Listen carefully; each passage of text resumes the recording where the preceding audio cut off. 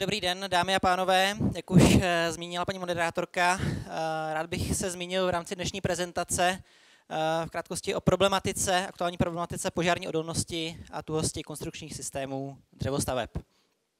V rámci prezentace bych se zaměřil na stanovení požární odolnosti dřevostaveb výpočtem, zkouškou, na problematiku tuhosti dřevostaveb a v krátkosti také na inovativní systém mechanicky spojovaných panelů s křížem vrstveného dřeva. Eh, konstrukční systémy dřevostaveb můžeme obecně eh, rozdělit na lehký, těžký dřevěný skelet, masivní konstrukce.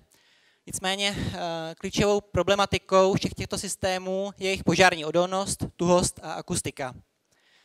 Požadavky na požární bezpečnost jsou stanoveny právními předpisy na národní úrovni a postup pro stanovení požární odolnosti je popsán v eurokódech. Co nás ale v, se vztahu k tomu požáru nejvíc trápí, tak to je v současnosti eh, stále ještě rozdělení na druhy konstrukčních částí DP1, DP2, DP3, což je tedy specifikum eh, v tuto chvíli pouze eh, České republiky a Slovenska. Nicméně, i když je to, řekněme, velmi nepříznivý pro dřevostavby, tak odstranění tohoto rozstřídění, řezení je problematické i z důvodu toho, že to, to, toto řezení je eh, zahrnuto v dalších eh, návazných předpisech a normách. Další záležitostí, na které je třeba pracovat, je čas pro, nebo řekněme čas, stanovení času porušení celistvosti sádrových desek TF a odstupové vzdálenosti od objektů vzhledem k požáru. Jak už jsem říkal, požární odolnost dřevostaveb lze stanovit jak výpočtem, tak zkouškou. Pro lehké dřevěné skelety lze využít eh, výpočetní postupy uvedené v Eurokódu 5. Eh, problémem eh, je porušení celistvosti toho pláště TF. Ten je v současnosti stanoven v normě EN 13381-7, nicméně tato norma v tuto chvíli stále ještě není schválena a proto ani tento diagram uvedený v Eurokódu 5 nelze využít. Pro jakousi podporu návrhu můžeme využít eh, zpřesněné eh, výpočetní postupy, eh, například pomocí softwaru programu ANSYS a podobně. Další možností pro stanovení požární odolnosti dřevostaveb je využití zkoušky, experimentu. Na obrázku vlevo vidíte zkušební těleso umístěné v požární peci s osazenými termočlánky a přičemž toto těleso bylo snímáno také termokamerami a to sloužilo například i k ověření toho, že na obou površích, obou stranách to tělesa v průběhu zkoušky v požadovaném čase nedošlo k vyššímu rozdílu teplot, než v, ploše, jako v průměru, než je 140 stupňů, respektive lokálně 180 stupňů Celsia. Eh, na eh, grafu vlevo vidíte už eh, vyhodnocení té zkoušky, respektive průběhu teplot v čase a porovnání naměřených dat, naměřených teplot pomocí termočlánků s daty získanými pomocí numerického modelu programu ANSYS. Jak vidíte, tak ty jednotlivé křivky pro jednotlivé termočlánky v celku dobře odpovídají.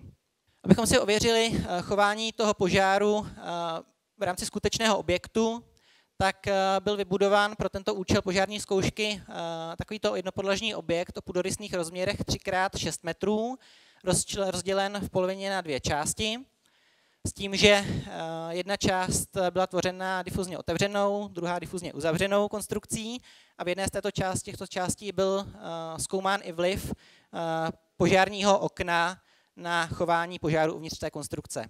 Jak můžete vidět eh, tady na obrázku vpravo, tak eh, ten vliv byl poměrně podstatný, protože vzhledem k tomu, že to požární okno si udrželo v průběhu požáru svoji celistvost, tak eh, nedošlo k prošlehnutí ohně na vnější povrch konstrukce a stejně tak bylo zabráněno přístupu kyslíku k požáru uvnitř objektu.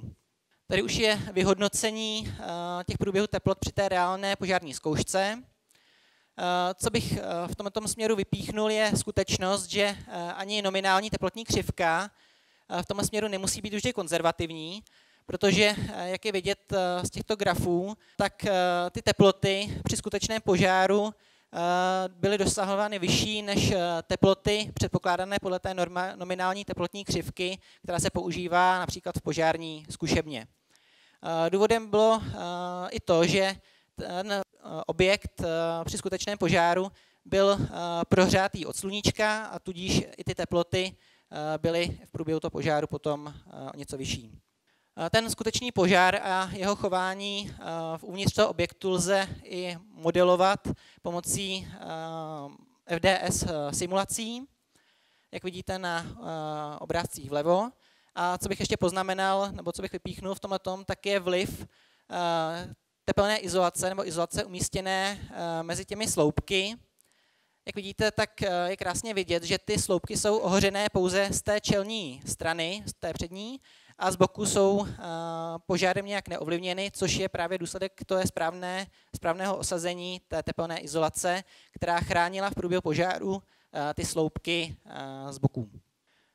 Ten jenom v krátkosti, poslední částí ve vztahu k té požární bezpečnosti je řešení otevřených a uzavřených požárních ploch. Jak je vidět, tak u dřevostavby se uvažuje jako požárně otevřená plocha vstažená k celé ploše té stěny, což ale je u dřevostaveb poměrně dost handicapující ve vztahu k tomu, že se postupem času ty pozemky stále zmenšují a zmenšují a když si stavebník volí, jestli na ten daný pozemek se ta jeho stavba vejde, tak právě odstupové vzdálenosti od té, od povrchu té fasády k hranici pozemku můžou být dost rozhodující.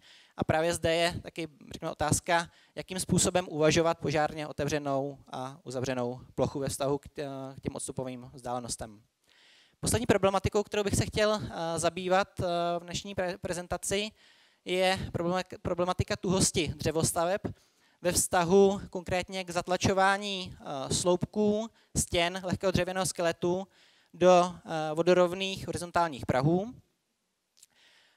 Tento jev se projevuje negativně, například, jak vidíte na obrázku tady dole, formou jakýchsi trhlin na fasádě, nebo například v návaznosti železobetonového schodišťového jádra na navazující dřevěnou konstrukci. Co se týče sedání, respektive zatlačování těch sloupků, a prokreslení do té fasády lze to řešit uh, různými konstrukčními detaily, který, uh, doká, který si dokážou tohleto pohlídat a zajistit, aby se to neprojevilo negativně třeba na té fasádě. A abychom si ověřili skutečné hm, chování nebo skutečné sedání na reálné stavbě, tak i ve spolupráci s RD Rýmařov probíhá měření na reálných vícepodlažních dřevostavbách. Vícepodlažní dřevostavby v České republice, ať už formou lehkého dřevěného nebo těžkého dřevěného skeletu, CLT panelů, jsou eh, vzhledem k požár, požárkům na požár realizovány do požární výšky 12 eh, metrů, což odpovídá třem, maximálně čtyřem podlažím.